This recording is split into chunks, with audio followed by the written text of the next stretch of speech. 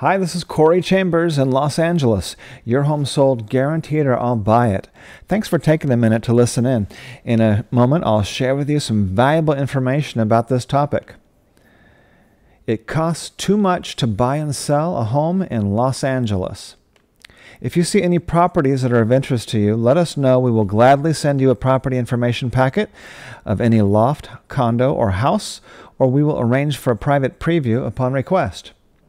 If you have a home you'd like to sell, then you should know that I will guarantee the sale of your present home at a price acceptable to you, or I'll buy it for cash. This will allow you to buy your next home without worrying about selling your present home. To find out how much you can sell your home for, call me at 213 880 9910 now. Here's some people in downtown Los Angeles discussing how much it uh, costs to make a move. Buying or selling a home is one of the biggest decisions most people make. The country's total residential property market is worth $34 trillion, which is as much as the value of all the publicly listed firms together. The Economist says that buying and selling property in America is cumbersome and extraordinarily expensive compared with other industries and other countries. The Economist is missing the mark just a bit when it discusses commissions Broker fees commonly run at 5% to 6% of the value of a property, which The Economist says is three times the average level in other developed countries. This is misleading. California commissions are always up for negotiation. Individual agents usually receive closer to 2.5%, while sometimes this gets split among more than one agent. And uh, this is not talking about whites. This is talking about uh, uh, while it sometimes is split among more than one agent. And the agents must pay a very large chunk of this expense for living and doing business in California. Also, vehicle, gas, parking, advertising, marketing, photography, assistance, transaction coordinator, brokers, MLS Association of Realtors, legal fees, taxes.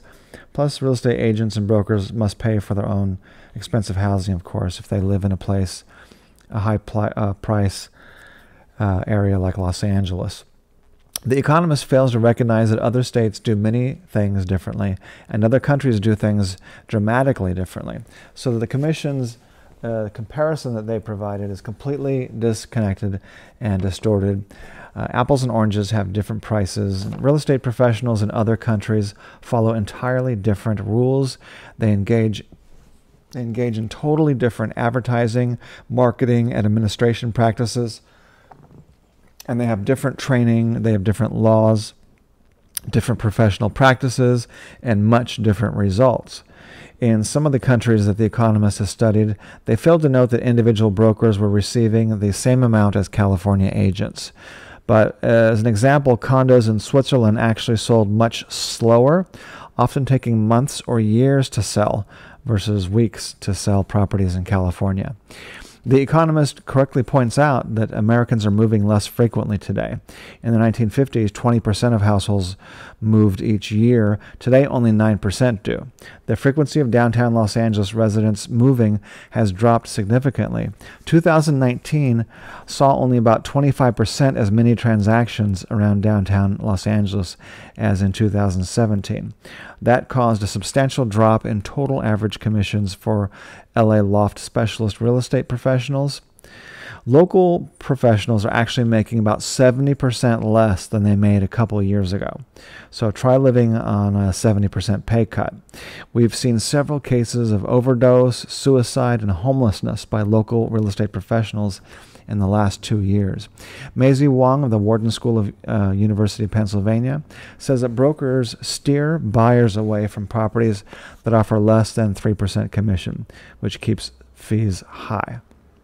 Well, that use of the word steering is a problem because in California, steering means uh, that you are taking people to uh, neighborhoods based on their race, which is highly illegal in California.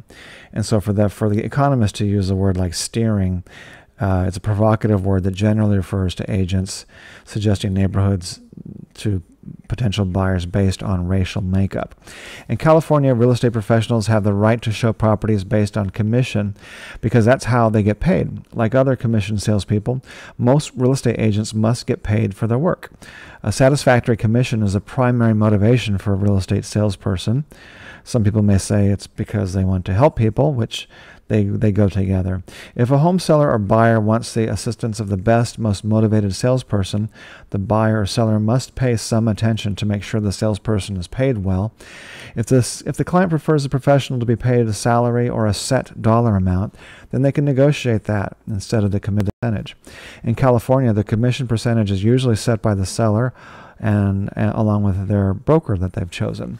The commission may be anywhere from one dollar to ten percent or or more than that. But that's with five percent to six percent being the most common total around Los Angeles, and that's split up among all participating brokers and agents that divide that. So uh, usually you don't have one agent getting uh, a whole five or six percent. That's not true.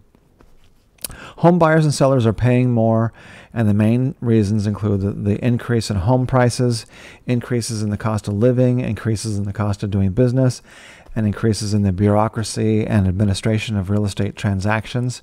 The state of California has steadily increased the legal and administrative burdens on buyers. Now, some of the burden has gone down because of technology, but the amount of paperwork and uh, responsibility has gone up for buyers, sellers, and real estate professionals. New required paperwork uh, keeps being added. And so disclosure forms that says that the property has a pool or hot tub that may be dangerous, disclosures that there are earthquakes in California that could be dangerous, and a whole lot of other stuff, a whole just a whole slew of miscellaneous forms that have to be done. And many of these are designed to protect and to educate uh, home buyers. Uh, these legal requirements make it difficult or impossible for home sellers to sell their homes sometimes when you add up the total amount of these legal requirements. Broker commission is the biggest expense for home sellers. Uh, which buyers have to ultimately pay for. Uh, for buyers, lending fees, taxes, insurance, and other miscellaneous uh, costs that add up. So here's um, information on how to sell your home without an agent and save thousands. Uh, you can click on this or you can just fill out the short form here and learn 10 inside secrets to selling your home yourself. Get a free report on how to set up your own condo, how to sell your own condo or house, and how to get free advertisements, and uh, get a free super open house and uh, free yard signs for your open house that you can do yourself. That's pretty much it. As I mentioned earlier, a property information packet of any home or a private preview is available upon request. Call 213 880 9910. I'm Corey Chambers in Los Angeles. Your home sold guaranteed or I'll buy it. Thanks for taking a listen and take care. Bye.